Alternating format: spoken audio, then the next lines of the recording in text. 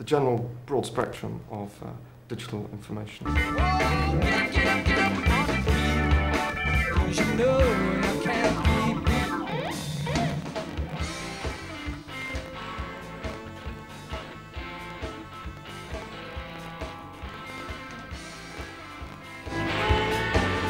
This is our video page.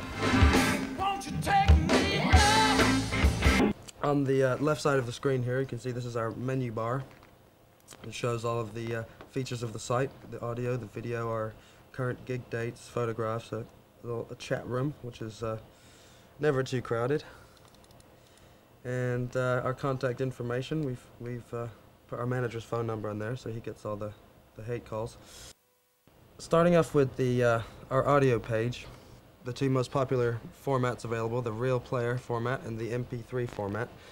And um, as far as the compression goes, the uh, real player files are approximately 10 times smaller than the MP3 files and uh, don't have to be downloaded, but you do sacrifice some of your uh, some of the sound quality. Real player sounds a bit like that. It's a bit muffled, but you do get to uh, you do get to hear the, the the file right away. But then the MP3, of course, uh, pulled it straight off of a CD, and you uh, retain that CD quality.